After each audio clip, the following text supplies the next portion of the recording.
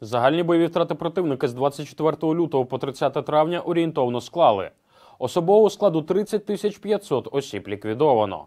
Танків 1358, бойових броньованих машин 3302, артилерійських систем 649, РСЗВ 207, засобів ППО 93, літаків 208, гелікоптерів 174, автомобільної техніки та автоцистерн 2275, кораблів катерів 13, БПЛА оперативно-тактичного рівня 515, крилатих ракет 120, спеціальної техніки 48.